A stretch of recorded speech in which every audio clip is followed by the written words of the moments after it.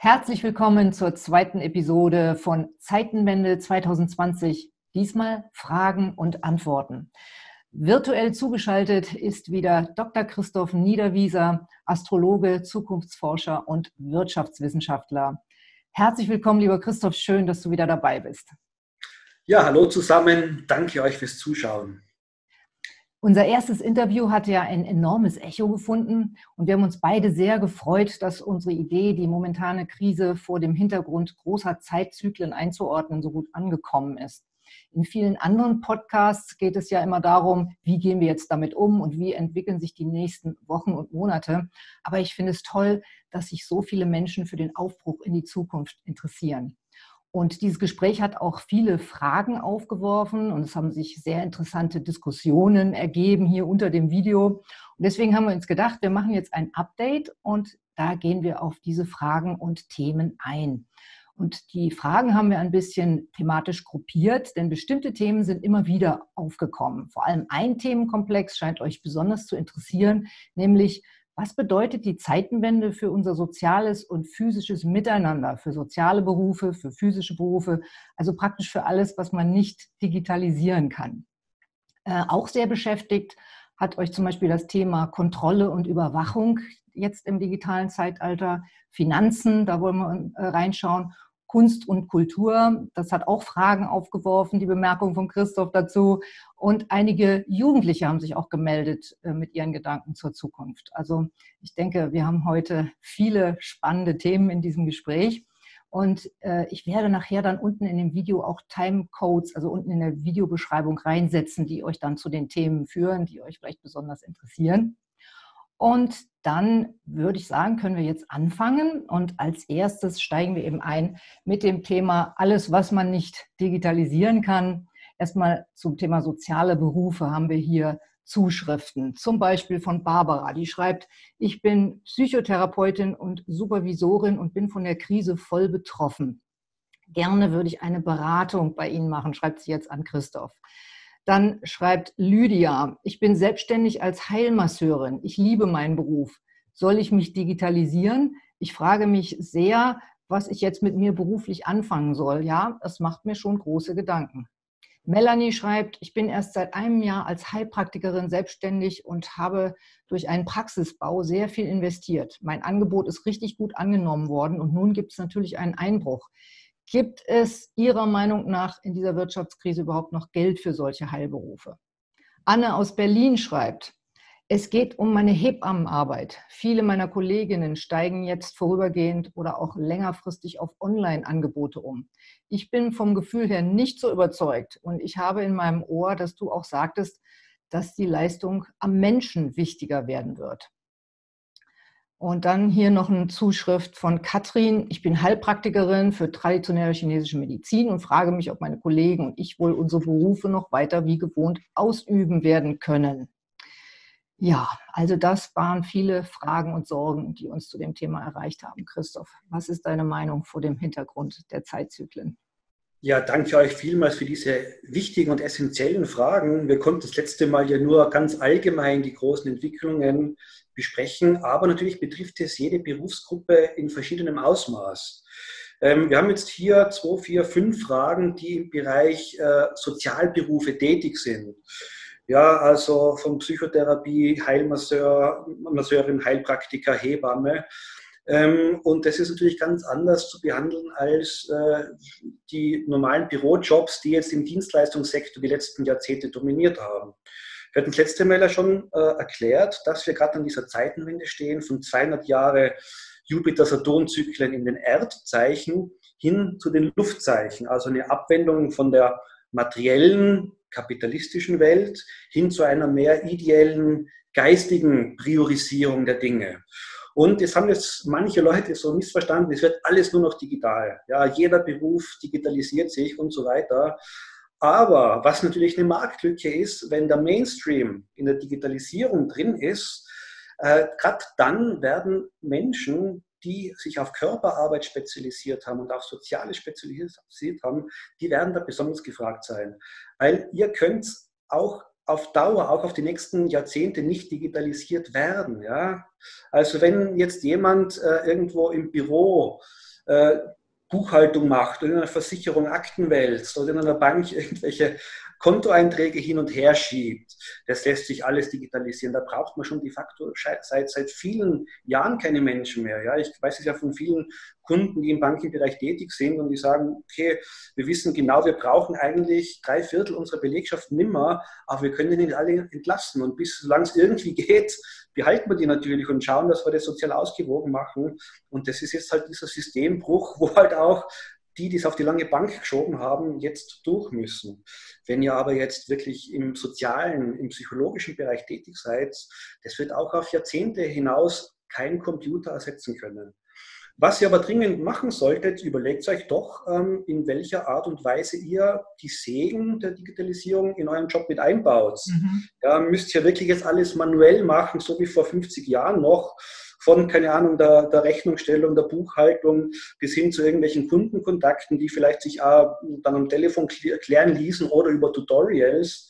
Ja, also auch da sollten diejenigen, die im sozialen Bereich tätig sind, durchaus auch nachrüsten. Ja, bis hin zu digitalen Überwachungssystemen, zum Beispiel in der Altenpflege.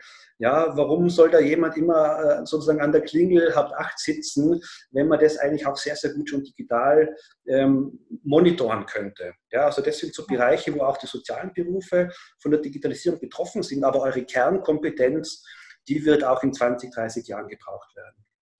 Genau, und ich kann da auch aus meiner eigenen Erfahrung noch anfügen, eine digitale Sache, die ich zum Beispiel super finde, ist der Kalender.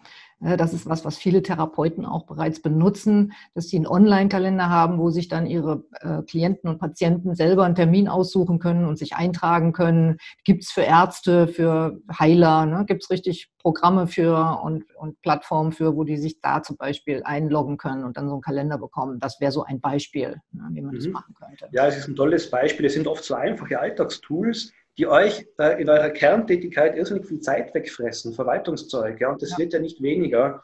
Ähm, und da äh, alles, was ihr euch mit, der, mit, den Segen der Digitalisierung freischaufeln könnt an wertvoller Zeit, die habt ihr dann wieder mit euren Klienten, Klientinnen. Genau, also eigentlich ist in dieser Antwort auch schon einiges drin. Äh, wir hatten hier noch das Thema physische Berufe nochmal extra.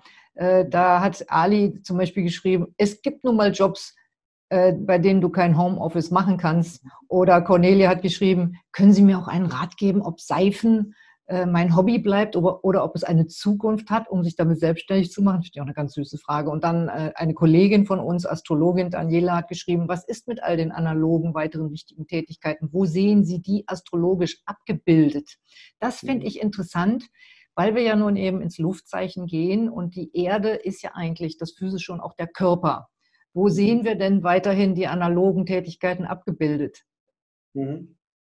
Ja, vielleicht mal so der, der, Reihe nach. Also klar, es gibt viele Berufe, da kann man kein Homeoffice machen. Ja. Äh, auch äh, wenn man jetzt wissen möchte, okay, als, als junger Mensch, was für einen Beruf soll ich ergreifen? Wenn jemand zum Beispiel handwerklich begabt ist, ja, und dann sagt, okay, ich möchte Installateur werden oder irgendwas im Bereich Handwerk machen, das sind auch Dinge, die die nächsten 20, 30 Jahren, da wird keiner einen Roboter dafür bauen. Das wäre viel zu aufwendig und zu wenig effektiv. Man muss immer Kosten-Nutzen abwägen und je mehr Leute im Zug der Digitalisierung nur mal am Rechner sitzen und mit der Maus klicken und gar nicht mal wissen, wie man einen Schraubenzieher in der Hand hält, äh, desto voller wird euer Terminkalender sein. Ja? Ganz also, sicher.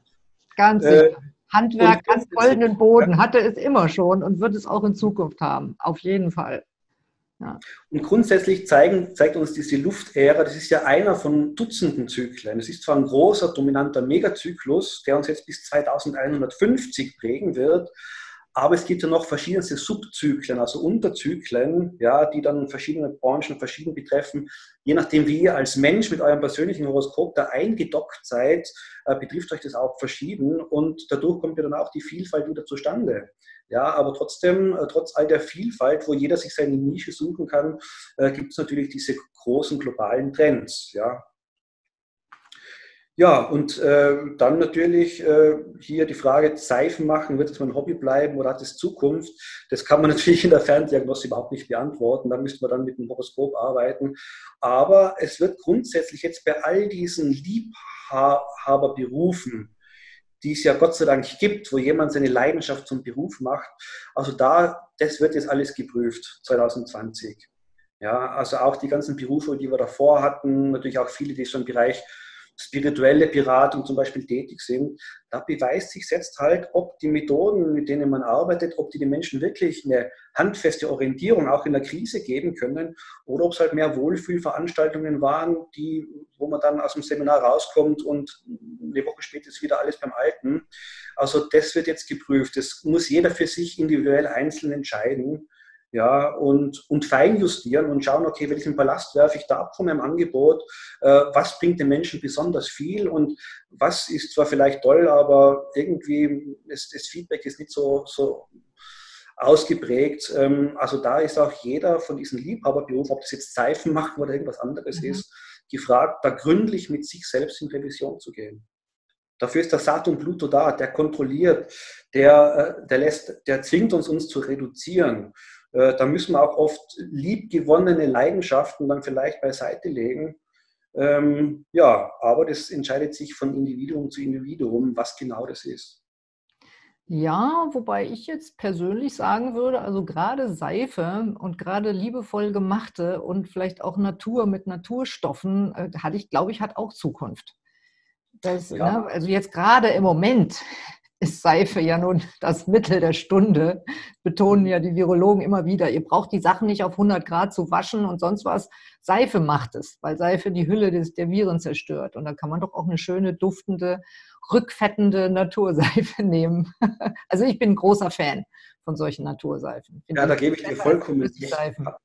Ja, alles, was, was uns jetzt hier ähm, das ist ja ein, Grundprinzip in der Zukunftsforschung, ja, das Hegelische Prinzip der Dialektik. Jeder Trend produziert automatisch auch einen Gegentrend. Matthias Hawks hat da oft schon zum Beispiel drüber gesprochen. Wir haben einerseits ist hier diese Welle des Veganismus, ja, was zweifelsohne ein großer Trend ist. Und dann gibt es aber als Gegentrend gibt es dann halt so diese, diese Grillbewegung, ja, wo der Grill gar nicht groß genug sein kann und das Steak, das man draufschmeißt. Ja, also jeder Trend produziert einen Gegentrend und wenn alle virtuell sind, dann braucht man als Ausgleich natürlich auch äh, gewisse Branchen, die uns in unserem Wohlfühlaspekt, in, ja, in dem, im Menschsein dann halt auch wieder analog unterstützen. Genau, das sehe ich auch so. Und ich glaube, es ist wirklich ganz wichtig, dass man da nun dann wieder auch die digitalen Medien nutzt. Die kann man ja dafür nutzen, um sich zum Beispiel Feedback zu holen, um sein Prä äh, Produkt zu präsentieren, um zum Beispiel Feedbacks der Leute zu präsentieren, dass man eben dann auch die Kundenmeinungen und solch, wo man sich dann sich andere dran orientieren können, dann postet und so. Da kann man dann wieder eben mit dem Digitalen auch viel machen, um ein physisches Produkt zu mhm. unterstützen. Genau. Sehr gut. Ja, dann haben wir noch mal das Thema soziales Miteinander spielt ja auch schon so ein bisschen da rein, ist aber auch noch mal ein extra Thema. Da haben wir auch noch äh, einige Beiträge zu gehabt. Ich, ich greife jetzt stellvertretend, also von mehreren Leuten, die zum Beispiel sagen, ich habe Angst vor der Digitalisierung, ich habe Angst, dass wir vereinsamen, äh, digitaler Kontakt, oh Gott, nee, also wenn das das digitale Zeitalter ist, dann bitte nicht. Und hier schreibt zum Beispiel Ulrike, hört sich eher nach noch stärkerer Trennung und Spaltung anstatt nach Gemeinsamkeit und wohlwollendes Miteinander an.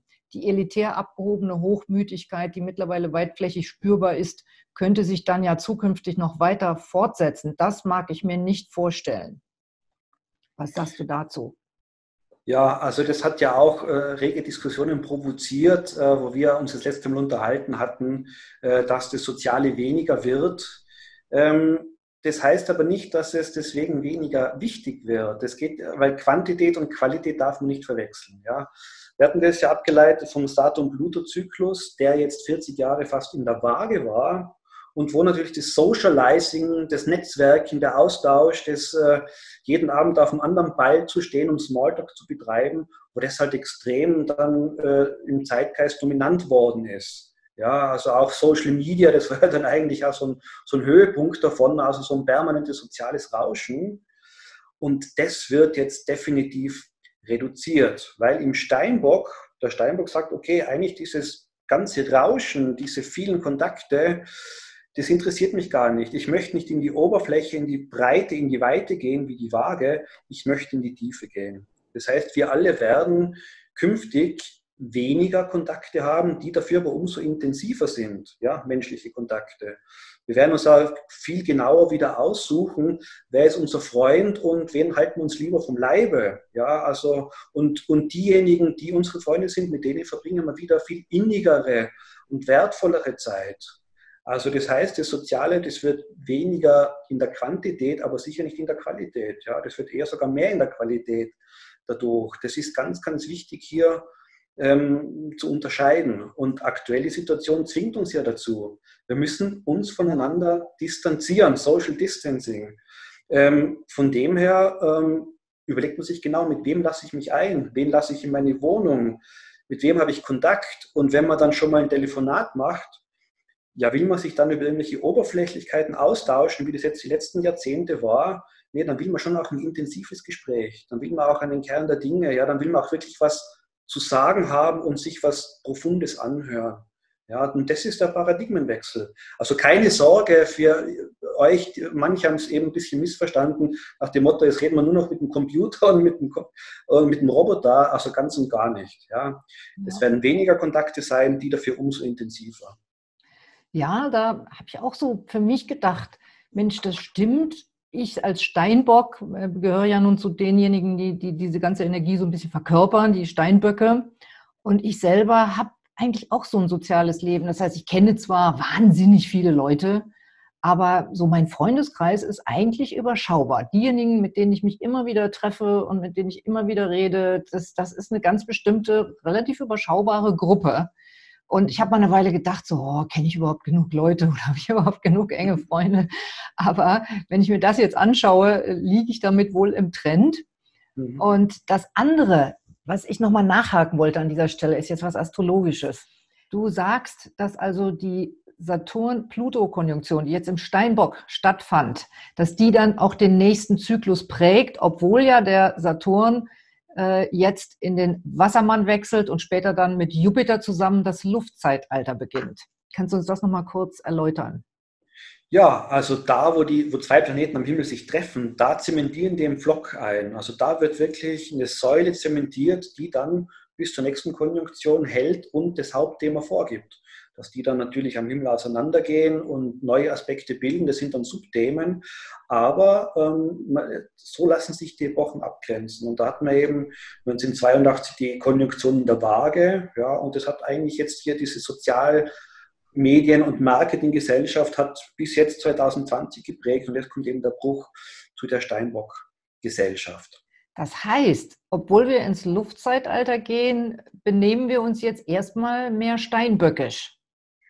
Ja, das hat man das letzte Mal mit dieser Grafik mit den zwei Köpfen dargestellt. Genau. Ähm, das heißt, die letzten 30, 40 Jahre, da mussten wir eigentlich geistig total wendig sein, ja, vage, Saturn, Pluto, um in einer eher rigiden, reglementierten Außenwelt, Jupiter, Saturn in den Erdelementen, uns irgendwie so ein bisschen emporschlängeln und weiterschlängeln zu können. Jetzt ist umgekehrt. Jetzt wird das Umfeld total volatil, total beweglich, total oft auch schon unberechenbar und extrem schnell veränderlich. Ja, das sind, ist dann eben diese Luftära und deshalb müssen wir im Kopf ganz, ganz klar und zielgerichtet sein äh, und auch lernen, uns abzugrenzen, um da drin bestehen zu können. Ja, also wir sehen, es sind zwei verschiedene Daseinsbereiche, die sich hier ineinander verschränken. Das ist wie so ein Kippbild, das hier aktuell stattfindet. Ja, genau, das ist sehr interessant. Und das bringt uns, ähm, bringt uns aber durchaus auch wieder zurück zu den Fragen, die unsere ähm, Zuschauer hier gestellt haben. Ähm, und zwar das Thema, wenn wir da jetzt hinspringen wollen, Kontrolle und Überwachung. Das hat ja ganz viel damit zu tun. Also viele machen sich Sorgen, dass mhm. es jetzt eine verstärkte Kontrolle und Überwachung gibt. Und das wäre ja dann praktisch die Kombination Saturn, Pluto im Steinbock äh, Kontrolle, Überwachung, vor allen Dingen eben auch seitens der Regierung und digital unter Verwendung von ähm, Kameras und Digitaltechnik. Und dazu habe ich eine Anekdote am Rande, das erzählte Lynn Bell, das ist eine berühmte Astrologin, Kollegin von uns, in einem äh, Podcast in, jetzt im englischsprachigen Raum, die erzählte, dass sie mit Freunden in Spanien gesprochen hat. Und eine Freundin hat ihr berichtet, dass sie aus dem Haus getreten ist und da kam eine Drohne angeflogen und sagte also mit Polizeistimme, hier bitte wieder ins Haus reingehen. Also mhm. die Zukunft ist schon da. Das fand ich jetzt auch eine relativ spukige Geschichte. Und deswegen, wenn du nichts dagegen hast, könnten wir jetzt mal uns dem Thema Kontrolle, das sollte eigentlich ein bisschen später kommen, das passt gerade so gut rein. Wollen wir uns dem Thema jetzt mal widmen mit den Fragen? Unbedingt, unbedingt, ja, weil wir haben das letzte Mal uns vor allem auf den positiven Wandel und den Umbruch fokussiert. Ja, was ja. uns da wirklich die nächsten Jahrzehnte bevorsteht und warum wir jetzt diese Zäsur haben. Aber natürlich beschäftigt ganz viele Menschen diese auch negativen und äh, besorgniserregenden Ausprägungen der Zäsur der aktuellen. Und das ist eben der Überwachungsstaat und die totalitären Regimes. Soll ich schnell noch die Fragen vorlesen? Ja, okay. Die, die Kommentare. Wie sehen Sie meine, von Claudia jetzt, wie sehen Sie meine Bedenken in Sachen Digitalisierung und Technisierung als Bedrohung von menschlichen Sicherheiten? Äh, und sie erwähnt dabei Uranus im Stier und die Aspekte. Kommt diese Form der Wirtschaftszukunft nicht auch aus dem Element Erde als Kontroll- und Überwachungsinstrument entgegen und schränkt die Freiheit und Unabhängigkeit des Menschen stark ein? Ja, könnte eine Art überzogene Technisierung nicht auch eine Gefahr für den Menschen darstellen? Entfernen wir uns nicht immer weiter von unserer Natürlichkeit und spirituellen Anbindung. Und Stefanie schreibt, erstmal ein nettes Kompliment, habe mir gerade das Interview mit Antonia angesehen. Die Prognose hat mir mehr Zuversicht gegeben, auch in beruflicher Hinsicht eine Richtung. Das freut uns. Trotzdem mhm. meine Sorge mit der Kontrollmaßnahme und den noch zukünftigen und auch den, der Einsatz des Militärs. Wie siehst du das? Genau, ja, ich hatte ja schon. Von vielen, ne? Ja. Na klar, ja. Und das ist natürlich ein ganz, ein ganz wilder Baustein hier aktuell, der jetzt das Ganze, also dieses, diese Reduktionsphase natürlich auch enorme Schattenseiten uns zeigt. Ich hatte ja schon seit 2016 in vielen Artikeln geschrieben, wir haben jetzt bis Ende 2020 die, den Aufbau von Struktokratien, ja, so von allumfassenden Überwachungssystemen, die äh, wirklich in unsere Persönlichkeitsrechte eingreifen in einer bis dato ungeahnten Form. Und es haben seit 2016 ja auch ähm, ganz viele mh, hm, ja, totalitäre Regimes, Paradebeispiel China, genutzt, um ganz konsequent eben solche Überwachungssysteme, die eigentlich all unsere Bewegungen äh, komplett tracken und dann teilweise eben sogar scoren, also bewerten, ob wir Gutes oder Schlechtes machen. Das ist in China, wird das ja gerade ganz konsequent implementiert. Ähm, ja, aber das waren eben bislang eben diese hm, demokratiefernen Systeme. Und jetzt durch die Corona-Krise äh, führen es aber auch allumfassend äh, etablierte Demokratien ein, wie hier in Europa zum Beispiel. Ja, weil natürlich unter dem Feindbild äh, eines Virus und der, der internen Sicherheit hier plötzlich ähm, Maßnahmen durchgehen, die eigentlich Datenschutzexperten total äh, an die Decke springen lassen würden. Ja, aber äh, wenn es ein totalitäres Regime macht, dann kann man dagegen protestieren. Wenn man es aber wegen so einem Virus macht, um Menschenleben zu retten, dann lässt sich schwer dagegen argumentieren. Und wenn die mal installiert sind, äh, dann wird man die kaum wieder deinstallieren, äh, wenn die schon mal da sind. Das ist halt eben das Problem. Ähm, und eben die Strukturkraten sind jetzt eben hier an dem Höhepunkt ihrer Tätigkeit 2020. Ja, da kulminiert es, das Spätcäsarentum der, der Strukturkraten der totalitären Regimes. Ähm, und was die jetzt eben schaffen, bis Jahresende aufzubauen, und das wird noch einiges sein, das wird uns leider auch die kommenden Jahrzehnte begleiten. Und dann ab 2021 äh, wird das Thema wieder sozusagen, da ist dann die Luft raus, da äh, wird das Ganze dann wieder freier, offener, aber was die bis Ende 2020 schaffen, das bleibt bestehen. Das ist also, um so ein Beispiel aus unserem täglichen Leben zu nehmen. Ihr erinnert euch vielleicht, 11. September, Terroranschläge ans World Trade Center. Und seither dürfen halt keine Plastikflaschen mit Flüssigkeiten oder keine Flüssigkeiten mehr mit ins Flugzeug nehmen.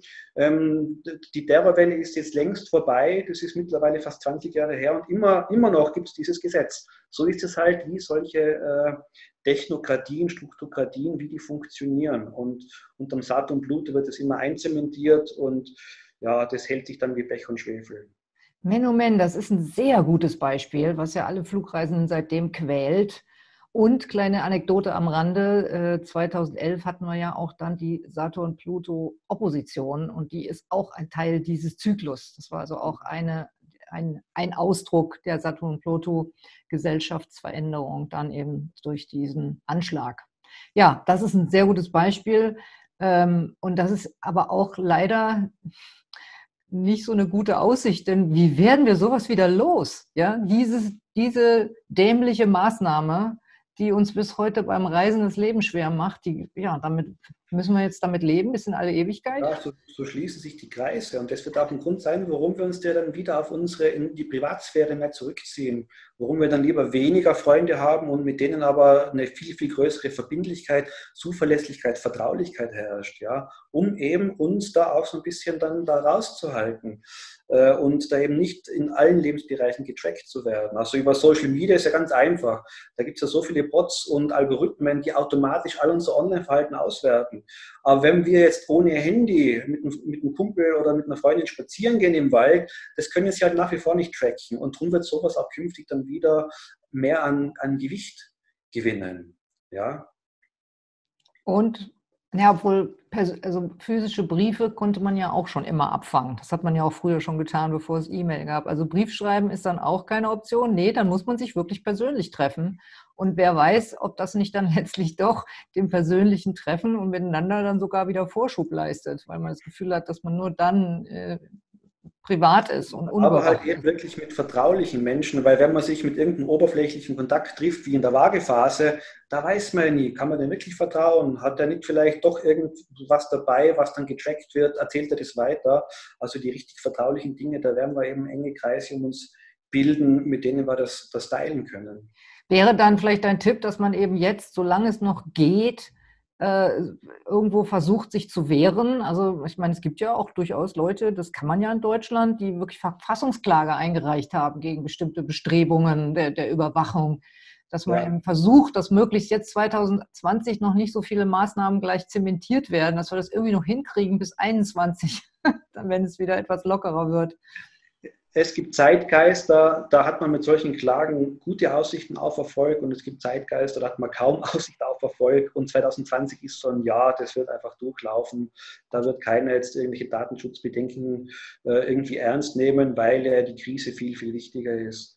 Aber, und das zeigt uns die Menschheitsgeschichte, egal wie stark so ein System ist, ähm, der blanke Lebenswille, ja, die, die Unberechenbarkeit des Lebendigen, die wird immer einen Weg finden, da auszubrechen. Ja?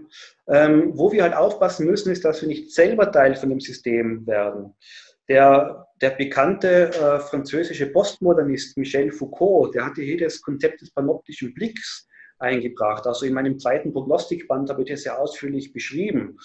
Und zwar das Panoptikon, das ist ein Turm, äh, ein Gefängnis, ja, und das steht in der Mitte, steht ein Turm, mit einer Aussichtsplattform, die komplett verspiegelt ist. Man weiß nicht, ist da jemand drinnen oder nicht. Und von dieser Aussichtsplattform kann man rundum sämtliche Zellen und alles, was drin vorgeht, überblicken. Ja, äh, und dann reicht im Laufe der Zeit ja schon, ähm, man weiß ja nicht, ist jetzt der Wächter drin oder ist der Wächter nicht drin, aber dadurch, dass er jederzeit drin sein kann, beginnt man selbst sein Verhalten zu normieren. Ja, und beginnt auch sein Verhalten anderen gegenüber zu normieren und dadurch wird dann der Überwachte zum Wächter. Ja? Also das ist ganz ein perfides System, äh, wo jeder von uns natürlich aktiv was auch tun kann, um da nicht reinzukippen. Ja. Das ist das ganz, ganz wichtig, ja, weil es geht ja hier auch darum, was kann jeder Einzelne von uns machen, um da möglichst, dass wir gemeinsam an einer, an einer lebenswerten Zukunft mitbauen. Ja, und das ist dann so eine Sache hier. Ja, sich da einfach mehr fernzuhalten, nicht alles zu glauben, was da daherkommt äh, und natürlich auch trotzdem in seinem Freundeskreis die Vertraulichkeit aufrechtzuerhalten. Jetzt würde ich gerne nochmal zum Thema Kunst und Kultur zurückspringen, weil das aber auch wieder mit unserer Überlegung, äh, welcher Zyklus geht zu Ende, welcher beginnt, also vom Waage betonten Zyklus jetzt in den Steinbock betonten Zyklus, also den Saturn-Pluto-Zyklus. Wie lange dauert der nochmal? Der dauert so sieben, um die 37 Jahre, nicht? Ja, Pluto, der hat eine elliptische Umlaufbahn und deshalb eiert der da immer so zwischen 30 und 38 Jahre. Und der aktuelle, der dauert dann bis 2152, 53. Ja. Ab 2053 ungefähr. Also 2051, genau. Das ist ja der. Genau. Jahre ungefähr. Wie viele Jahre sind das dann? Äh, ja, so ein bisschen mehr als 30 Jahre. Ein bisschen mehr als 30, genau. Und der letzte war länger. Der hat, glaube ich, der ging ja 82 los. Ja, der hat 38 Jahre gedauert. Ja, das liegt daran, dass der Pluto von der Waage zum Steinbock besonders schnell ist. Ja. Aha, okay. Gut, also wir haben dann jetzt die letzten äh, 37 Jahre sehr, sehr blühendes, kreatives Kunst- und Kulturleben gehabt.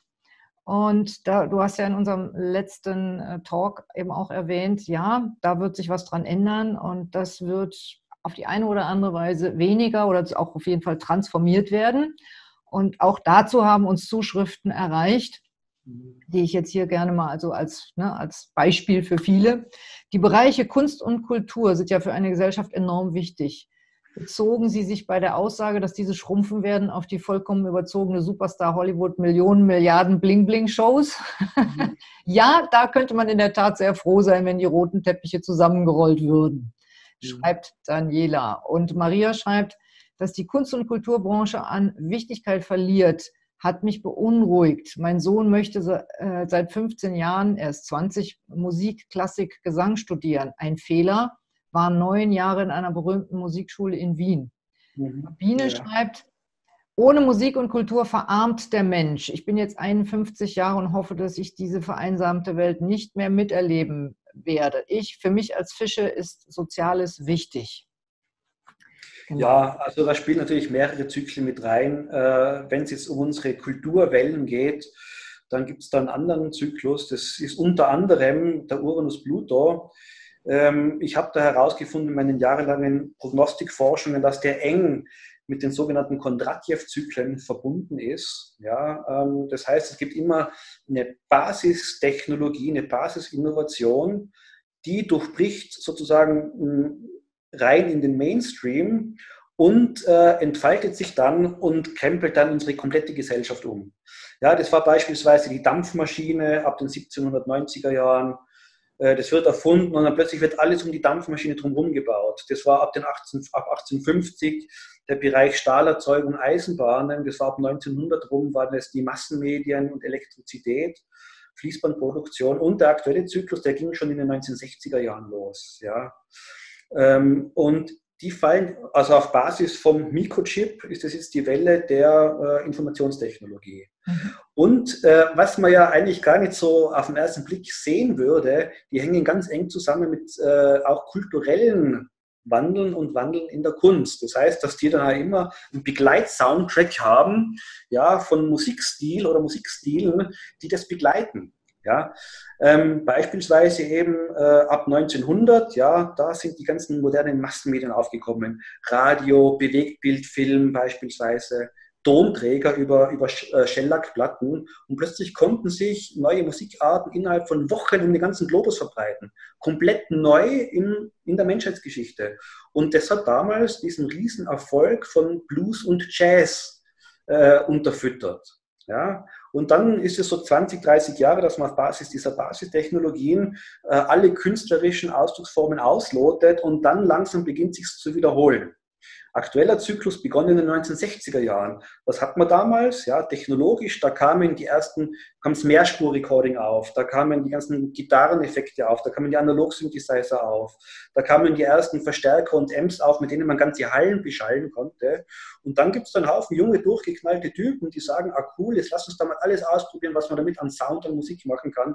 Und plötzlich kommen all diese Varianten von Bob Rock auf. Ja, also das ist damals fast alles, was wir heute hören, ist damals in den wenigen Jahren, in den 60er Jahren entstanden, ja, von eben Pop, Rock, Metal, Reggae, elektronische Musik äh, und so weiter und so fort.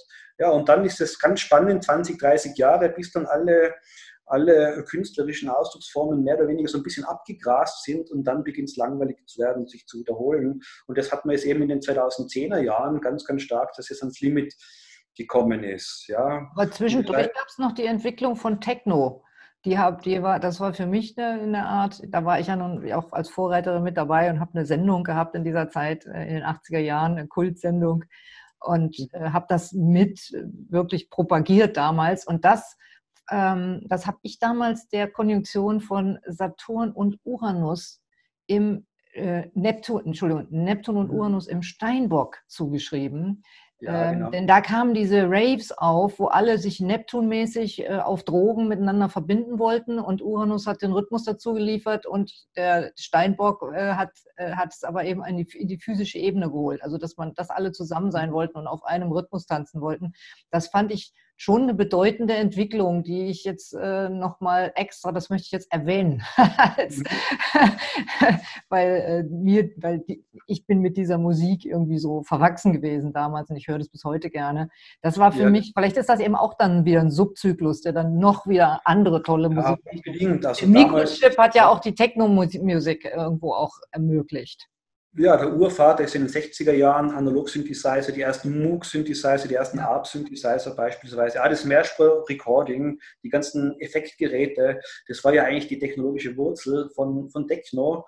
Und ja, eben der Urus Neptun im Steinbock auf 19 Grad Steinbock, ja, in den 90er Jahren. Das wäre ja. die große Techno-Welle, ja, weil der Steinbock hat sich gern harsch, eckig und äh, industriell. Und das Zweite, das waren halt genau. diese ganzen Extremformen des, des das Metal, ja, also Rammstein, Paradebeispiel, aber Absolut. natürlich auch die ganzen Varianten von, von Black und Death Metal und was es da alles gab. Der ja. Witz ist ja, dass, dass die Rhythmen ungefähr gleich sind. Ne? Das ist eigentlich auf beiden Seiten relativ schnelles Staccato, ne? also irgendwie genau. zwischen 120 und 180 BPM.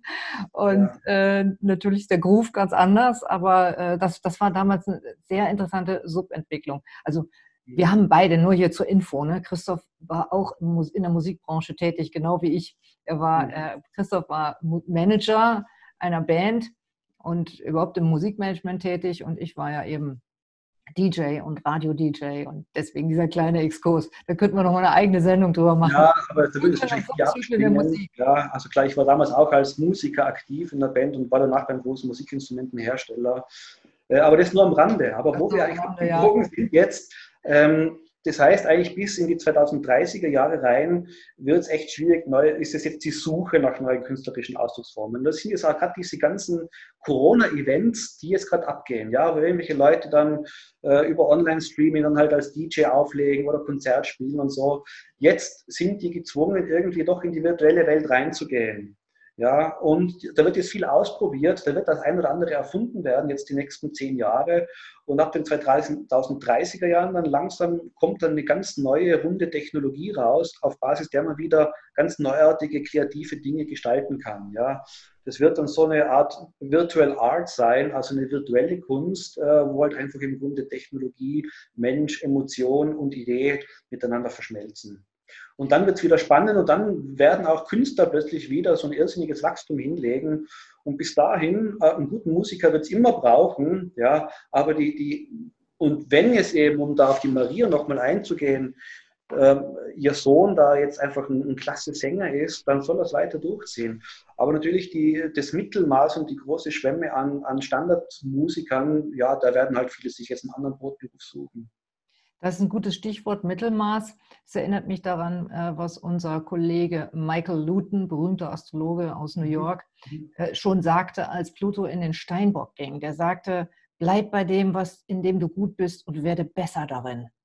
Das ja, ist genau. einfach so eine Konzentration jetzt auf, Steinbock ist ja Konzentration aufs Wesentliche. Genau. Und diese Botschaft wäre dann wirklich jemand, der ehrlich brennt für das, was er tut, äh, wird auch weiterhin wahrscheinlich die Möglichkeit finden, sich darin auszudrücken. Aber ähm, man muss dann wirklich, wirklich gut sein in dem. Das, das ist genau. einfach die Bedingung. Ja. Und man muss sich auch scharf positionieren. Antoni, wir beide kennen ja viele Künstler, Musiker und so weiter, ähm, die jetzt schon die letzten 10, 20 Jahre, also der CD-Markt ist ja schon ab, ab, dem Jahr 2000 komplett weggebrochen, Jahr für Jahr die da jetzt schon immer sich mit Konzerten und, und da einen Aushilfsjob und da dann Musikunterricht geben, irgendwie mit so einer komischen Mixtur über Wasser halten äh, mussten, in der Hoffnung, dass es irgendwann besser wird. Ja? Und da werden ganz viele sagen, na, jetzt ist es eigentlich vorbei, jetzt, ich, ich spiele nach Feierabend nur gern ein bisschen auf meinem Saxophon, aber ähm, ich möchte nicht mehr davon abhängig sein. Ja?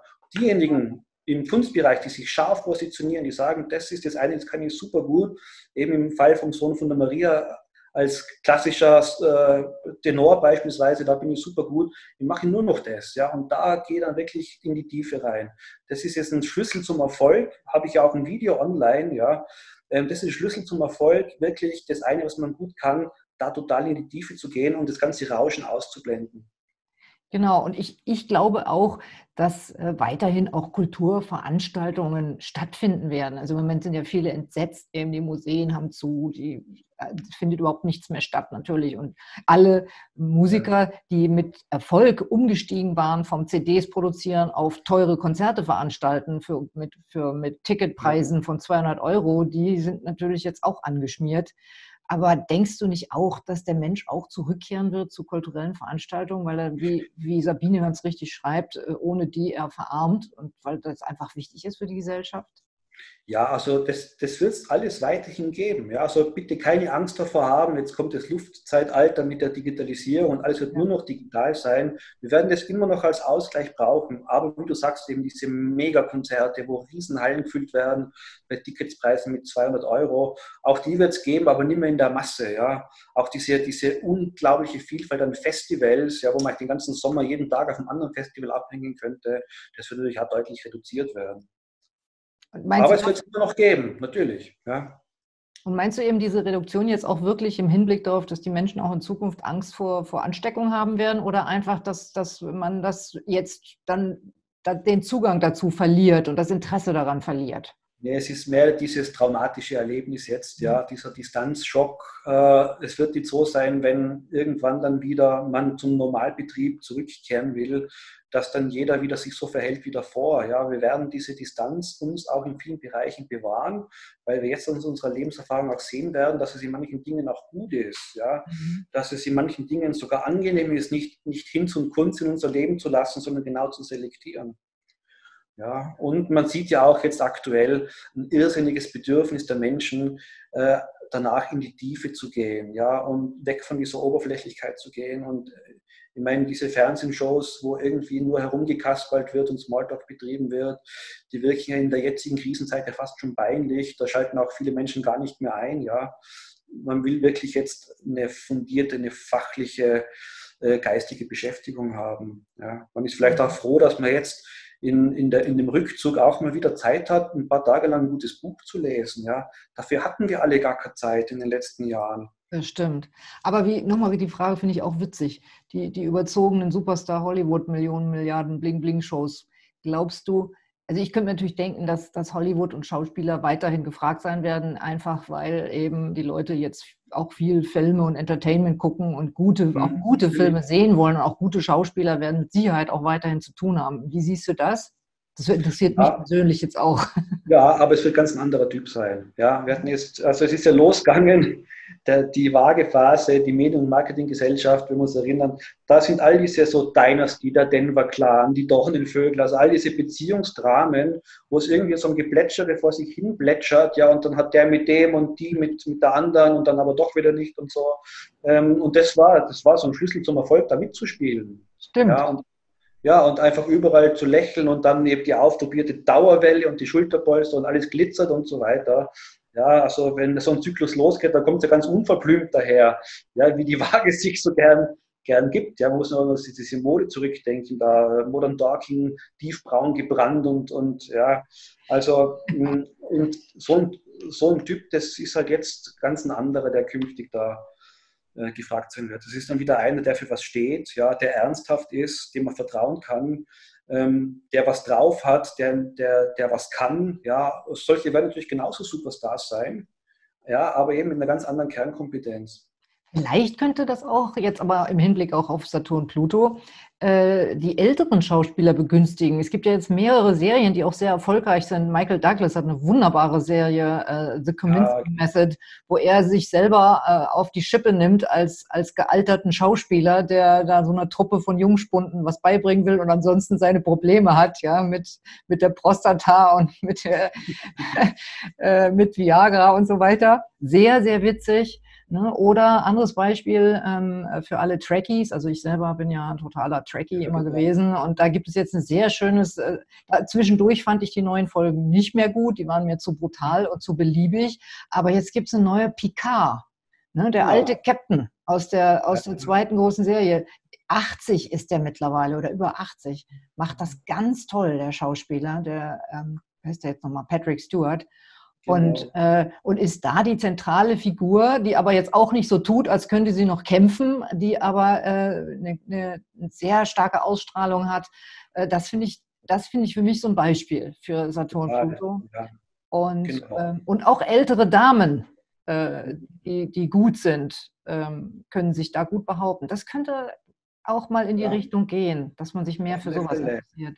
Charakterköpfe mit ja. viel Erfahrung und die lebensgegerbt sind. Ja, eben wie genau. Picard, äh, Patrick Stewart, der hatte jetzt in der Krisenzeit, hatte ja auch, ich glaube, jeden Tag liest er so nett von Shakespeare mit seiner tiefen, brummigen, angenehmen Stimme.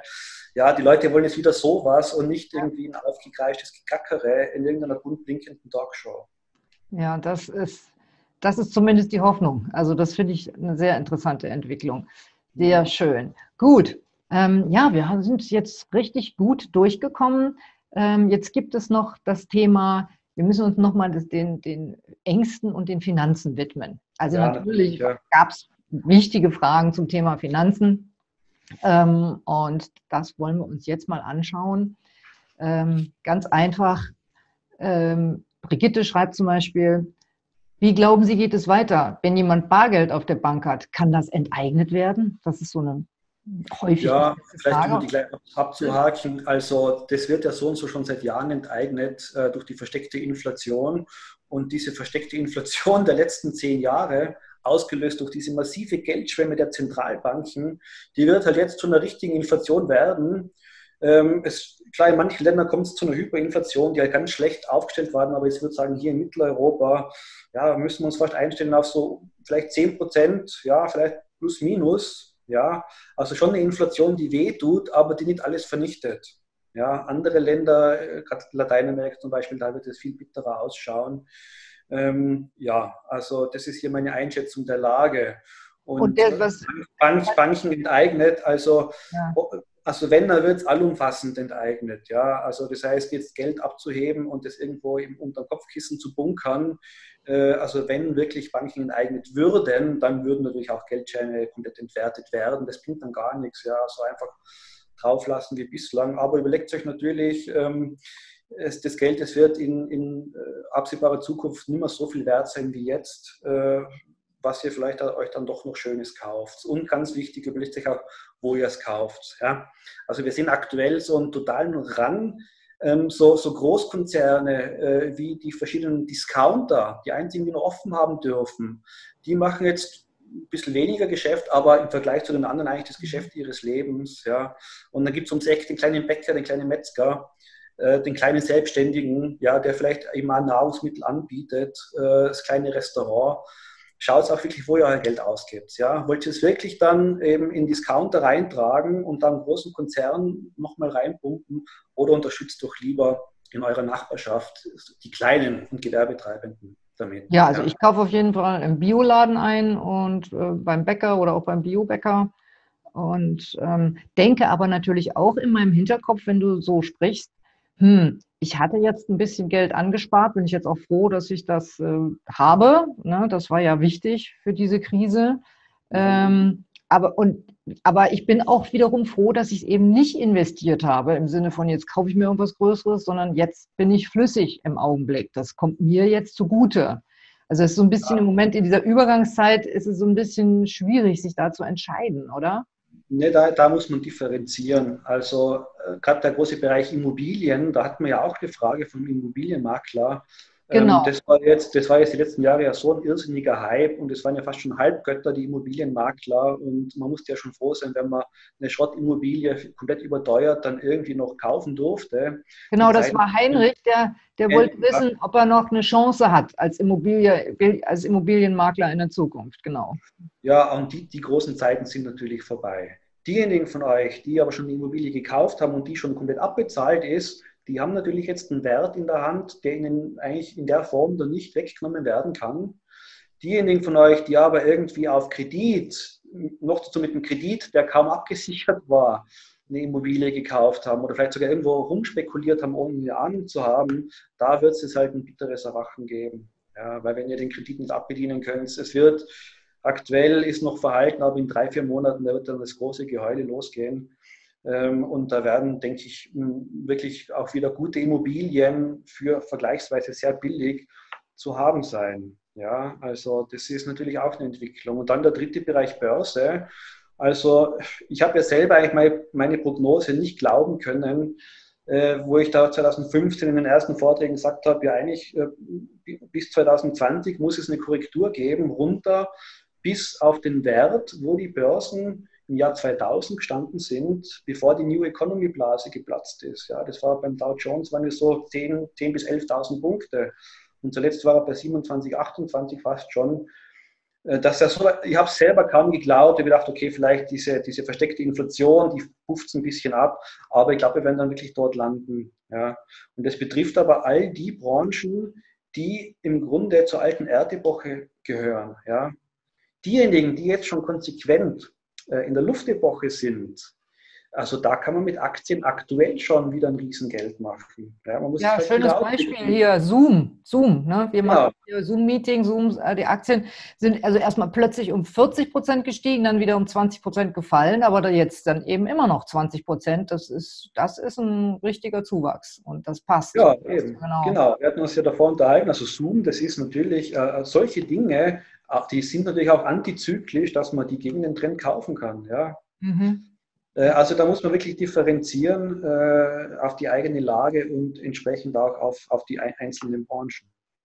Dann Aber klar, grundsätzlich, das, es wird, also ihr könnt wirklich äh, da das so als Maß, als Daumenregel nehmen, das, wo die verschiedenen äh, Indizes im Jahr 2000 waren, da werden sie wahrscheinlich auch wieder hinfallen. Und dann hört es vielleicht langsam auf, der, der bodenlose Fall. Genau. Und jetzt hin. Ja, also da wird es noch ein großes Weinen geben. Es gab jetzt noch eine sehr interessante Frage. Übrigens, denkt jetzt nicht, der Christoph würde mir ins Wort fallen oder das nicht mitkriegen. Wir haben hier bei Zoom so eine kleine Verzögerung und deswegen kommt das manchmal eine halbe Sekunde später bei ihm zu Hause an, wenn ich was sagen will. Ne? Also wir sind hier nicht unhöflich miteinander. Also da war jetzt noch eine wichtige Frage und zwar, ähm, erklären Sie mir auch bitte kurz und bündig Ihre Idee zur Finanzierbarkeit meines zukünftigen Grundeinkommens. Ja. Das, find, das interessiert mich persönlich auch sehr. Mhm. Ja, das ist natürlich der Blick der alten Erdepoche. Also wenn, wir, wenn jemand, der sozialisiert wurde in der Erdepoche, man muss hart arbeiten, man muss sich den Regeln beugen, man muss mitspielen bei all dem, was hier so entsprechend Standard ist. Und wenn jemand nicht äh, arbeiten muss, weil er kein Geld, weil er eh Geld kriegt, dann werden die alle faul. Ja, das ist, das ist der typische Erdblick auf die Dinge. Ich habe auch in meinem Buch über die magischen Praktiken des Managements, habe ich auch geschaut, es gibt ja ganz viele Management-Theorien, die die Menschen in vier Typen unterteilen. Ja, und die haben eins zu eins Entsprechungen zu den vier Elementen. Und da gibt es eben den Homo economicus, ja, der wird beschrieben als total egoistisch und der denkt nur an sich und der muss mit Zuckerbrot und Peitsche motiviert werden. Schluss macht er nichts. Wenn der nicht kontrolliert wird, dann macht er nichts. Wenn der nicht immer seine Prämien kriegt, dann macht er nichts, ja. Äh, und Eigeninitiative hat er so und so keine. Und sobald er einfach so Geld kriegen wird, dann wird alles ganz faul. Ja. Aber es gibt natürlich auch andere Menschenbilder, sogar in der welches Element? Das wäre Erde, oder? Das ist die Erde, ja, der Erdtypus, ja. Und dann ja. gibt es aber ganz andere äh, wieder, wo es halt, also das Self-Actualizing Man hat Schein das genannt in der Organisationstheorie. Das ist ein Mensch, der sich selber verwirklichen will. Ja, der braucht eigentlich gar keinen Führer oder gar keinen Vorgesetzten, der die Leute permanent antreibt oder motiviert. Der kann sich selber motivieren. Der braucht eigentlich einen Freiraum, dass er sich ausleben kann. Und wenn man den einfach mal machen lässt und dem Eigenverantwortung gibt, dann macht er das Beste draus. Der kann das selber viel besser, als das sein Vorgesetzter einschätzen kann. Ja? Und das ist eigentlich viel näher dran an der aktuellen äh, Management, am aktuellen Management-Diskurs. Ja, und jetzt eben im Luftzeitalter, da wird dem zum Durchbruch verholfen. Der ja. ist Element Feuer, oder? Das war Feuer. Äh, genau, das Self-Actualizing war das was Feuerelement, aber die anderen Typen, die werden dann in den verschiedenen Typologien verschieden behandelt. Der visionäre Typus, der Inspirator zum Beispiel. Ja. Jetzt musst du uns die anderen Elemente aber auch noch kurz mitgeben. Was wäre der Wassertyp? Ja, der Wassertyp, das ist immer, Schein nennt ihn der Social Man, also das ist so das, das, das, die gute Seele in der Firma, die eigentlich zwar jetzt nicht sonderlich fleißig ist, aber die braucht man emotional, weil da sich da alle ausweinen und der erzählt auch den Smalltalk weiter und so, wie geht's dem und was hat der in der Familie und so weiter. Aber ja. das ist dann ein bisschen, für den könnte es ein bisschen schwierig werden, oder? Also jedenfalls, wenn die für Homeoffice oder, oder naja, obwohl man kann auch so einen Austausch ja auch am Telefon oder, oder auch im Homeoffice im, im Gespräch haben. Was denkst du? Also am härtesten wird es natürlich für den Erdtypus, ja, also ich sage, ich habe in den Magisch-Praktiken des Managements ein Buch, äh, was ich für die Universität Erlangen und für die Universität Innsbruck geschrieben habe. Da habe ich Dutzende dieser Management-Typologien äh, entsprechend dazugeordnet in vier Elementen. Und der R-Typus wird es am schwersten haben. Also der Controletti, der sagt, nee, wir brauchen Vorschriften für alles. Äh, der sagt, wir müssen alles durchreglementieren, wir müssen alle Menschen kontrollieren. Für den wird der um, um, die Umstellung am schwierigsten werden. Und, und dann haben wir noch den Luft der Lufttypus, der ist doch dann bestimmt äh, super aufgestellt jetzt im, äh, im Luftzeitalter. Ja, genau. Also Schein nennt ihn den, den, den, komplexen Menschen, der Complex Man, der in jeder Situation genauso agiert, wie es erforderlich ist. Mal ist er dominant, mal ist er Diplomat, äh, dann wieder weiß er zu motivieren und so weiter. Der macht das je nach Situation ganz verschieden und da hat immer dann die richtige Strategie für jede spezielle Situation.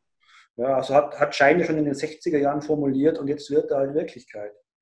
Hammer, das ist ein wahnsinnig interessantes Thema. Leute, wenn ihr wollt, dass ich mich darüber mal mit äh, Christoph gesondert unterhalte, über die verschiedenen Ele astrologischen Elemente im Vergleich zu den Berufstypen, schreibt uns bitte. Dann nagel ich den Christoph jetzt direkt fest. Also ich, ich persönlich finde das irre spannend. Vielleicht geht es ja auch anderen so. Und vielleicht können wir ja dann auch den Typen was mitgeben, was sie eben machen können, um ihre, um, um die Enge um das zu überwinden. Ne? Und um eben, sicherlich gibt es eben für den Erdtypen auch gute Sachen, die er machen kann. Aber das würde jetzt zu weit führen. Ich, äh, vielen Dank für diesen Exkurs. Das fand ich unglaublich spannend. Wir waren ja noch beim Grundeinkommen. Also du hast jetzt erklärt eben, dass äh, wenn man äh, in der Erdepoche sozialisiert ist, geht man einfach davon aus, dass, dass es sich so verhält wie beim Erdtypen. Wenn einer keine Kontrolle hat und nicht, nicht angetrieben wird, dann macht er nichts. Und du mhm. gehst aber davon eben aus, dass es doch sehr viele Menschen geben wird und sich zeigen wird, dass viele sagen, prima, also so ich zum Beispiel, ich würde jetzt sagen, oh ja, prima, Grundeinkommen, super, nehme ich gerne mit. Aber das reicht sowieso nicht für meinen Betrieb und für das, was ich mache. Dann habe ich vielleicht eine Sorge weniger, aber dann würde ich trotzdem genauso weiterarbeiten wie jetzt auch. Erstens, weil es mich interessiert, was ich tue. Und zweitens, weil eben, weil ich damit meinen Lebensstil, wie ich den jetzt habe, auch nicht äh, darstellen könnte. Und darauf will ich ja nicht verzichten. Also das wäre zum Beispiel eine Variante. Ne? Oder jemand anders, der vielleicht sagt, ich nehme das gerne und ich habe jetzt endlich Zeit, äh, mich mit Philosophie und Büchern und guten Gedanken zu beschäftigen. Das, das wäre ja auch okay. Also so würde ich mir das dann vorstellen. Aber hier geht es ja auch darum, die Frage ist ja immer, wie wird das finanziert? Das, also ja. jemand wie ich kann sich das schlecht vorstellen, ehrlich gesagt. Ja, wie gesagt, in einer Erdewoche wird es dann nicht funktionieren. Da wird vielleicht wirklich ein großer Teil am faul daheim rumsitzen und sich sich gut gehen lassen und sich äh, irgendwie den, den Flachbildfernseher äh, auf den Bauch scheinen lassen. Aber äh, in der Luftepoche, da äh, geht es ja um Ideen, um Gedanken, um Visionen. Und so ein Grundeinkommen gibt uns dann die Möglichkeit, auch mal zu sagen, ich steige jetzt aus dem Hamsterrad mal ein paar Wochen, ein paar Monate raus. Ich möchte jetzt einfach mal mir wieder was ganz was Neues überlegen, was ich dann mit meiner beruflichen Leistung den Menschen Gutes tun kann.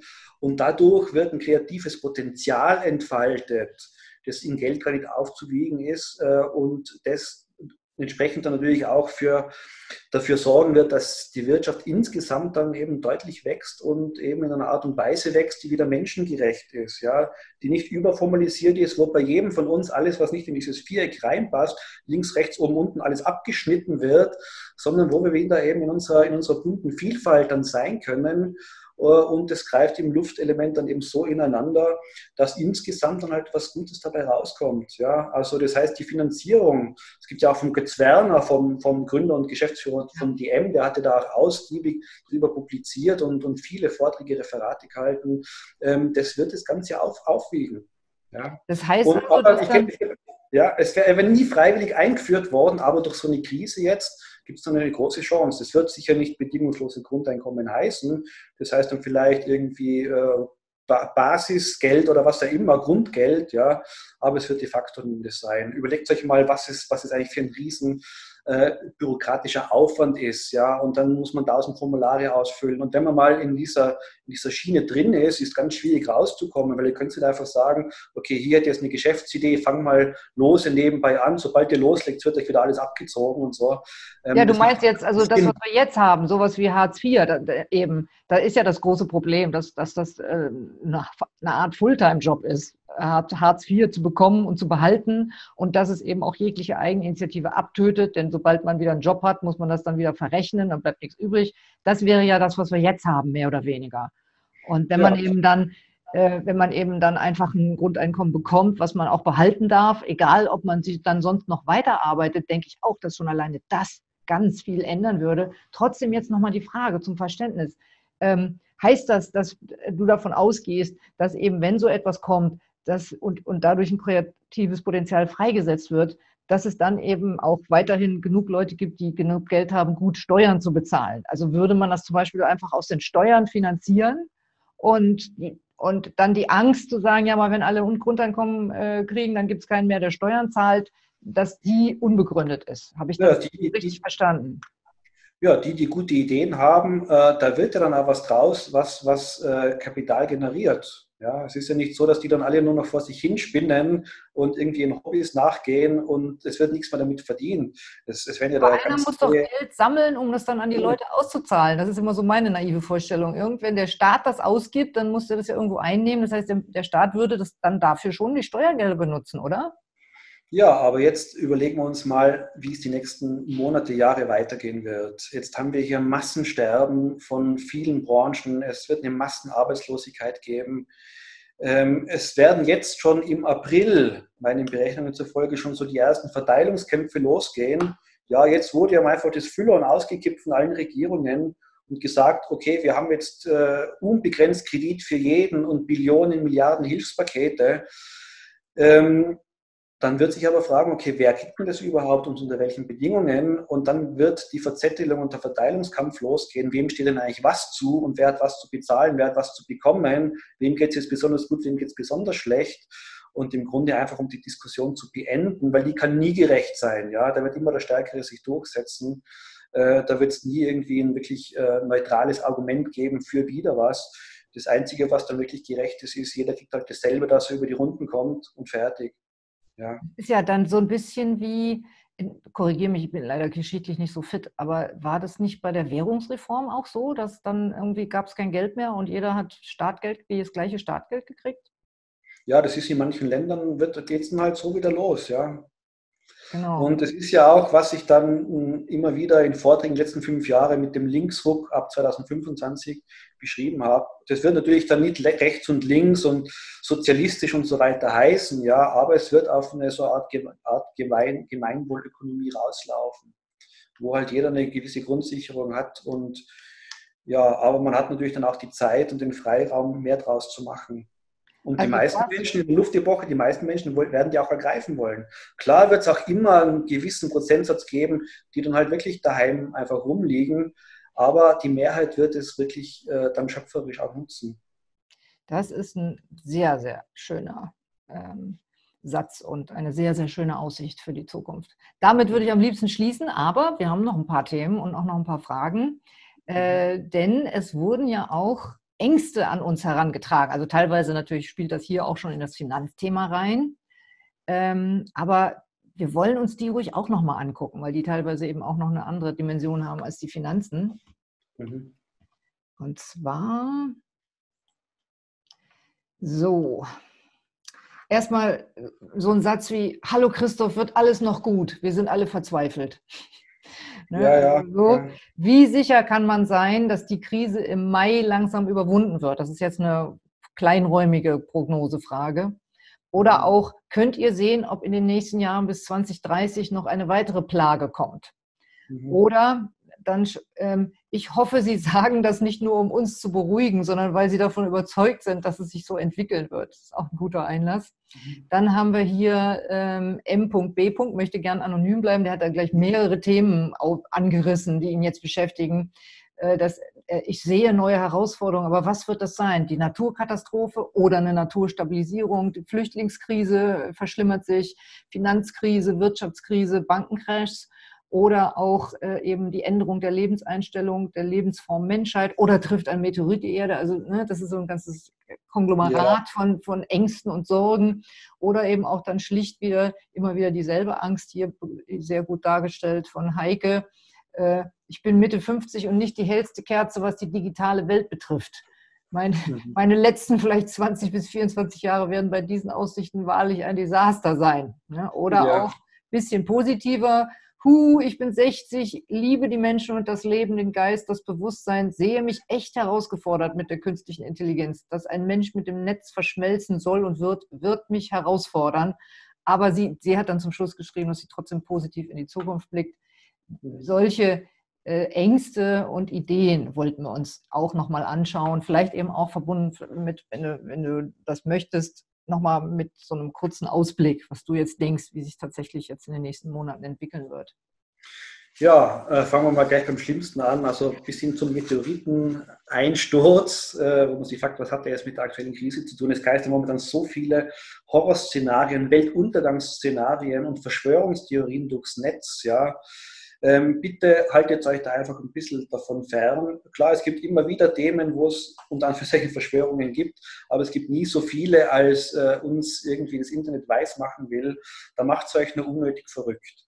Ähm, ich gehe davon aus, dass es im Mai schon mal so eine erste Entspannung geben wird, aber das wird jetzt ein Auf und Ab werden. Und zwar eben das Ganze 2020. Wir werden dann ab 2021 gibt es dann langsam so Aussichten, wo denn Lösungen sein könnten, aber dann kommen natürlich auch nochmal die ganz schmerzhaften Einschnitte. Und so dieses, dieses, dieses, dieser Zwischenzustand, ja, Auflösung der alten Ära, Aufbau der neuen Ära, bitte erwartet euch nicht, dass das innerhalb von einem Monat umgeschalten ist. Das geht einfach nicht. Ja. Das wird bis 2024 rum äh, wird es sukzessive ein Prozess sein, ja, wo es mal besser, mal schlechter geht, wo manche von uns sich schon relativ früh da rappeln und andere irgendwie noch, noch lang irgendwie da niederliegen. Und dann ab 2024, 2025, da werden wir alle merken, okay, es läuft wieder geschmeidig, jetzt läuft es wieder rund, jetzt ist das neue System, was jetzt hier aufgebaut wurde, ähm, jetzt äh, ist es so wirklich, dass es deutlich besser ist als das alte und es funktioniert da wieder alles. Ja, das wird jetzt wirklich bis 2024 rum Schritt für Schritt einfach ein, ein Prozess sein. Und äh, in welcher Woche dann wie, was, wo passiert, das ist halt dann wieder das übliche Rauschen, das mhm. euch auch ablenken will davon, äh, wirklich jetzt eure Positionierung zu finden. Ja, jetzt geht es wirklich darum, überlegt euch, was ist eure Kernkompetenz, wie könnt ihr die schärfen und wie wollt ihr die nächsten 20, 30, 40 Jahre euer Leben verbringen? Und vor allem auch, was wollt ihr nicht mehr?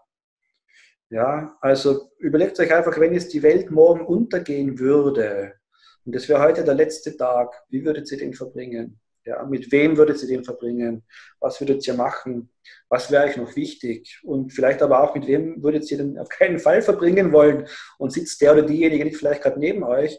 Ähm, also das ist jetzt vielleicht einfach so eine Frage, so ein Gedankenspiel, das euch jetzt mal ganz intuitiv helfen wird, die nächsten Tage, Wochen, Monate euch darüber im Klaren zu werden. Ja, das ist der Prozess, wo wir alle durch müssen. Und je weniger ihr euch dann von diesem Rauschen und medial, was ist wieder wann, wo passiert, ablenken lässt, lasst, äh, desto besser werdet ihr dahin finden. Ja, das ist eine sehr gute Ansage. Ähm, ich finde es auch gut, kleinräumige Prognosen im Moment eben vor dem Hintergrund sind leider eher mehr als ein Rauschen ist natürlich für, für manche auch wichtig, wegen ihren, die wollen jetzt einfach wissen, können sie jetzt Ostern schon was unternehmen, äh, wie können sie die nächste Reise planen. Aber es ist trotzdem gut, wenn man eben sagt, okay Leute, das, das kann jetzt wirklich sein, dass diese Sachen, dass das noch eine Weile dauert, bis ihr da wieder zum Normalzustand finden könnt. Aber man hat ja auch so einen Anspruch, so eine Anspruchshaltung entwickelt. Man hat die Anspruchshaltung, dass es einem also einfach zusteht, dass man im Jahr vielleicht viermal reisen kann und dass man alle möglichen Sachen planen kann. Ich meine, es gibt andere Teile der Welt, wo die Leute nie wissen, ob sie den morgigen Tag überhaupt überleben werden. Und wir haben einfach diese Anspruchshaltung und, und vielleicht ist es jetzt auch mal ganz gut, wenn wir da äh, ja also so mit etwas mehr Demut an die Sache rangehen auch wenn es eben schwierig ist. Also mein eigenes Beispiel, ne? mein Mann Ray Merriman lebt in Amerika und wir wissen im Moment nicht so recht, wann wir uns wiedersehen und unsere Pläne, die wir da haben, die können wir höchstwahrscheinlich jetzt erstmal über einen Haufen schmeißen, aber wir sprechen jeden Tag eine halbe Stunde über FaceTime oder WhatsApp-Video. Wir sind das allerdings auch gewöhnt. Äh, bis jetzt kann ich es noch gut aushalten. Aber ich würde das auch unterstreichen wollen, Christoph, was du jetzt sagst, dass wir uns einfach darauf einstellen müssen, dass die Welt sich insgesamt verändert. Und ja. dass es vor dem Hintergrund ehrlicherweise irgendwie egal ist, was jetzt, ob es morgen oder übermorgen oder nächste Woche so oder so ist, weil ich natürlich ja. sagen muss, bestimmte, für bestimmte Sachen ist das wichtig, aber dafür habt ihr ja dann auch euren Astrologen, um dann eben vielleicht das wirklich in der Beratung zu klären, in, auch anhand eures eigenen Horoskops. Genau, also da kann man die individuelle Antwort kann man sehr gut aus dem persönlichen Horoskop rauslesen, aber es gibt da keine Pauschalantwort. Ja. Ähm, ja, aber du siehst eher so in so einer Fernbeziehung gerade, da wird sich halt jetzt beweisen, die nächsten Monate, was hat wirklich Bestand und was fällt dann auseinander. Ja, auch wenn jetzt, wenn wir jetzt länger so auf engen Raum miteinander leben müssen, vielleicht irgendwo in einer kleinen Mietswohnung ohne Balkon, ja, in einem Land, wo es wirklich Ausgangssperre gibt, ja, äh, haltet man sich da nur aus, kann man sich noch riechen oder nicht mehr. Das ist jetzt eben die große Bewährungsprobe in dieser Reduktionsphase. Und wer da durchkommt, da wird es danach umso stärker sein. Und eben die Frage, die hier permanent kommt, es laufen mir ganz viele unserer Fragen hier drauf raus, wann wird es wieder normal sein? Es wird nie mehr normal sein und das ist aber auch gut so, weil es wird anders sein und es wird dann eben ab 2025 besser sein, ja, wo wir sagen, wow, das war jetzt so ein Schock, das war so eine Krise, aber es ist so viel Unglaubliches passiert, was davor unvorstellbar war, wo die Ideen zwar schon rumgegeistert sind, aber es hätte nie mehr gefunden. Und jetzt haben wir daraus eine neue Gesellschaft erbauen können, ein neues Fundament, wo wir alle uns wieder gut aufgehoben fühlen. Wie viele Menschen gibt es denn, die die letzten ja, Jahre oder sogar Jahrzehnte sich nicht mehr am richtigen Platz gefühlt haben? Ja. ja das ist eine, un, eine unschätzbare Chance und Gelegenheit. Darf ich dich fragen als Kollegin, äh, welcher Konstellation du das schuldest, 2024, 2025? Das interessiert ja, mich. Ja, ähm, ich habe ja da auch im, im Dossier, im Zukunftsdossier, äh, wo ja auch schon ganz, ganz viele von euch das bestellt haben. Das ist einfach ein kostenloses ZIP-File mit drei Artikeln von mir drinnen. Äh, einfach um es schon mal so eine erste Orientierung zu geben, bevor wir jetzt weitere Videos und so weiter produzieren können. Da habe ich ja die Konstellation Katalypse 2025 genannt. Da haben wir so ein schönes Dreieck, ja, wo der Pluto in Wassermann läuft, der Uranus in die Zwillinge läuft und auf 0 Grad Witter haben wir den Saturn, Neptun, eine Konjunktion ja, das wird der Beginn eben sein dann. Das, das hört sich sehr gut an, denn für uns Astrologen ist ein sogenanntes großes Dreieck, großes Trigon, es ist ein großer Harmonieaspekt. Und das passiert nicht allzu oft, dass die großen und teilweise auch schwierigen Planeten alle miteinander in Harmonie stehen. Dann, das kann ich mir denken, dass das ein gutes Zeichen ist für die Zukunft. Genau, apropos Zukunft. Also gab es jetzt hier noch bei diesen Fragen, die ich hier zusammengefasst habe, noch etwas, wo du nochmal gesondert drauf eingehen wolltest oder war das jetzt eigentlich deine Antwort? Ja, ich denke, äh, wir haben jetzt eh schon ganz erschöpfend viele der Fragen besprochen und mhm. bitte schickt uns einfach sonst weitere Fragen, wenn wir jetzt irgendwas vergessen haben sollten. Auch bitte um Verständnis, wenn wir jetzt vielleicht das ein oder andere nicht in der Form ansprechen konnten, okay. wie erwünscht. Äh, wir werden es auch gerne nachholen. Ich, eine Frage, die hier schon mich immer berührt hat, äh, das ist die Frage nach den Jugendlichen. Ja. Genau, die, die, die wollte viele, ich jetzt zum Schluss ja, auch äh, ansprechen. Ja. Da kommen wir dann zum Ende und das ist jetzt natürlich sehr wichtig. Soll ich das nochmal vorlesen, was die, ja, was die geschrieben hat? Die, wir haben hier Maria erstmal, ganz süß und auch wirklich eine, einfach eine, die einzig wahre richtige Frage jetzt an dieser Stelle. Gibt es für die Jugendlichen etwas Wichtiges? Werden sich Schulen ändern? Mhm. Ähm, das ist einfach, und ich lebe mittlerweile in Südtirol und arbeite im, im ESF-Projekt für Schulabbrecherprävention. Ja, das sind wirklich auch wichtige Fragen. Und dann hat uns die Frage einer Studentin erreicht, Claudia, studiert im ersten Semester Sozialwissenschaften und Philosophie und möchte eventuell die Studienrichtung wechseln und schreibt, aufgrund der weltlichen Situation daraus, daraus resultierenden Umstrukturierung im Geist und in den Systemen möchte ich gern von Ihnen wissen, was glauben Sie, welche Studienrichtungen ergeben Sinn für die Zukunft? Beziehungsweise welche Berufe werden in Zukunft benötigt? Sehr gute Frage. Und dann auch die Frage äh, oder der Kommentar auch, aber ob die Schüler die jetzt nicht jeden Tag etwas für die Schule tun, dann Probleme bekommen. Also nee, aus dem Modus wollten wir doch raus. Eine gesunde Selbsteinschätzung ist das A und O. Und dann schreibt hier noch Streptohealing. mein Sohn genießt die jetzige Zeit Online-Schule und ist voll fleißig. Das ist die Schule der Zukunft. Viel Zeit zu Hause verbringen und an, um an sich zu arbeiten. Es kommen goldene Zeiten. Angst ist das Letzte, was der Mensch jetzt braucht. Also diese Sachen zu dem schönen Thema, was die Jugendlichen jetzt bewegt oder auch Menschen, die mit Jugendlichen zu tun haben. Ja, ja, vielleicht mal zuerst für die bisschen älteren Jugendlichen, die jetzt gerade im Studium sind oder sich überlegen, was sie lernen, was sie studieren sollen.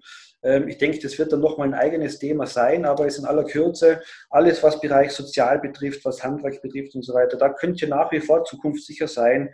Macht nicht den Fehler, jetzt irgendwie eine Bankkaufmann oder Bankkauffrau-Lehre zu machen oder irgendwo in so eine Bürokratie reinzugehen oder vielleicht da irgendwie zu glauben, jetzt, jetzt möchte ich bei der Behörde einen sicheren Job haben.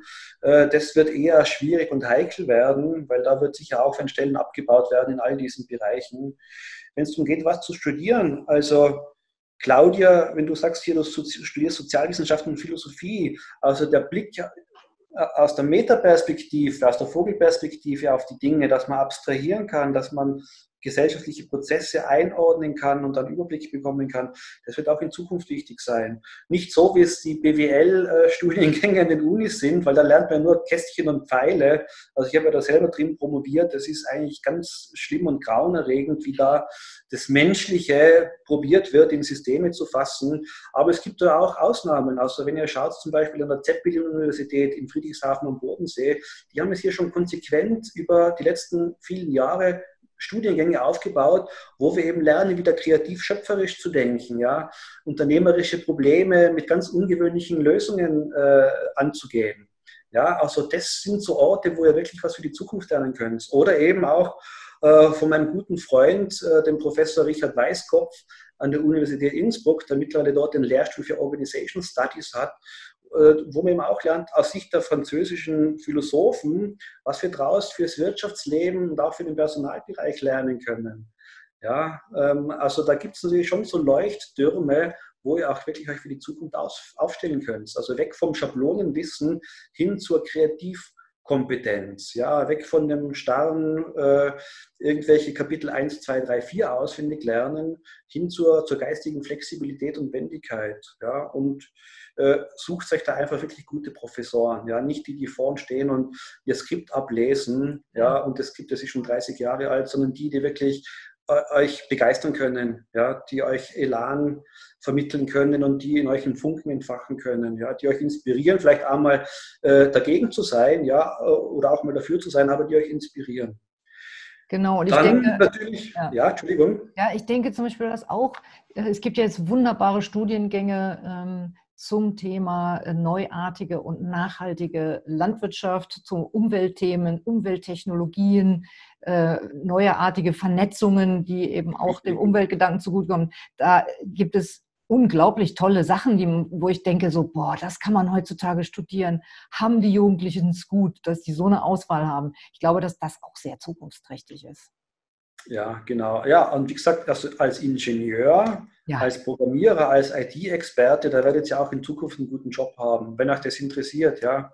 ja. Die meisten Menschen, die haben ja Angst vor Mathematik, aber wenn ihr da ein bisschen Zugang habt, macht's das. Ja, es ist wichtig eben, dass wir jetzt von diesem 0-1, von dieser binär-digitalen Welt hin zu einer neuen Form der Wissensorganisation kommen und von Wissenssystemen und von Technologien, die eben gerade so Bereich Umwelttechnologien beispielsweise ja, neue, neue Marksteine setzen. Und das Ganze geht ja in den Schulen los. Ja, und aktuell Homeschooling, ich sehe es ja auch bei meinen Kindern, also die blühen da richtig auf. Endlich nicht um, um sieben in der Früh aufstehen müssen, endlich ausgeschlafen, sich in Ruhe hinzusetzen, sich selber das so beizubringen, wie man es selber am besten versteht. Aber es wird sich da die Spreu vom Weizen trennen. Ja, ja da wäre zum Beispiel doch auch denkbar, ja. dass die Jugendlichen, so wie sie es jetzt auch schon machen, die sich in WhatsApp in Gruppen organisieren, um irgendwas zu unternehmen, so könnten die sich doch dann beim Homeschooling auch organisieren und zu angenehmen Zeiten, wenn sie ausgeschlafen sind, sich zusammensetzen, wenn sie nicht alleine lernen wollen. Die, ne, da gibt es ja auch echt tolle Möglichkeiten, wie man sich mit den heutigen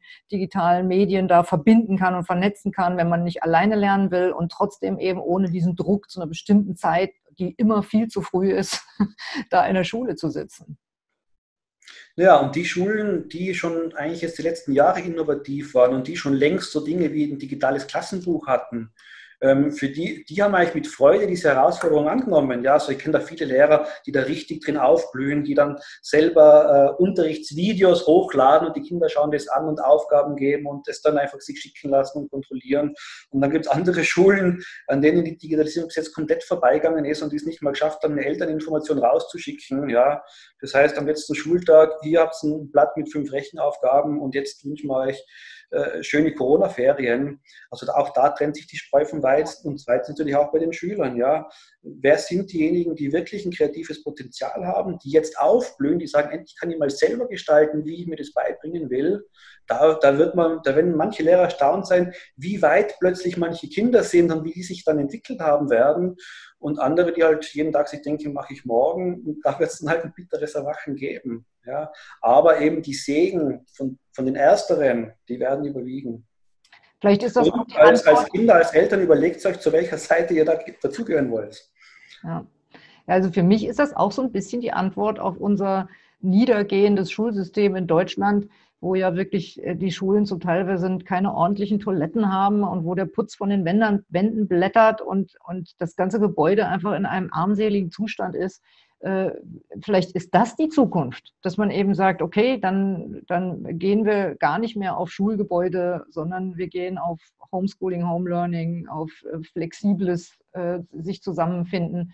Denn also da, da gibt es ja viele Schulen, da würde ja keiner von uns ein Bein reinsetzen. So schlimm sind da die Zustände. Das muss ich jetzt echt mal erwähnen, weil ich finde das immer wieder ganz, ganz schlimm, was da in Deutschland, wo wir so viele Steuereinnahmen haben und dafür ist dann kein Geld da, muss ich mal sagen an der Stelle. Ja, also jetzt ist die, die unwiederbringliche Chance, äh, das Ganze auf neue Beine zu stellen. Und auch die Menschen, die Familien, die werden sich viele von diesen positiven Seiten aktuell ja danach nicht wieder zu 100 Prozent wegnehmen lassen. Ja. Ob das jetzt Homeschooling oder Homeoffice, das ist natürlich in beiden Bereichen. Ja, vielleicht ähm, gelingt es uns ja auch jetzt mit, wo, wo, wo noch der Steinbock äh, vorherrscht, 2020, wo du gesagt hast, Strukturen, die jetzt errichtet werden, lassen sich nicht mehr so schnell rückgängig machen. Vielleicht gelingt es uns ja auch, also uns jetzt eben als Eltern oder als Betroffene im Homeoffice, so eine Struktur für uns dann herzustellen und dann hinterher wirklich zu sagen, das hat sich doch bewährt, das ist doch gut gelaufen, das will ich jetzt eigentlich nicht mehr ändern. Ich möchte das jetzt weiter so machen.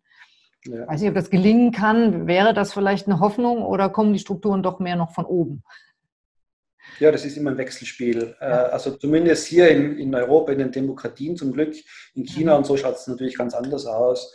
Aber hier bei uns, äh, es kann nur von oben kommen, was auf Dauer von unten gestützt wird. Das ist ja das Schöne an der. Demokratie und da wollen wir ja auch bleiben. Da wollen wir auch bleiben, genau.